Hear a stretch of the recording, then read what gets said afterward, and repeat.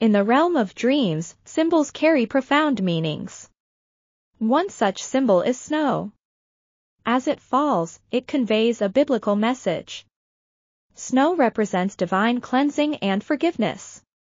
It symbolizes God's mercy washing away our sins.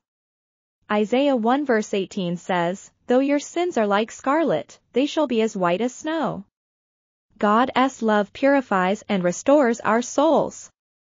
Snow signifies transformation and renewal. It invites us to let go of the past and embrace a new beginning. Snow symbolizes God's presence, His guidance, and protection.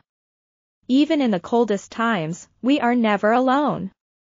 So, dream of snow and find hope, restoration, and a brighter tomorrow.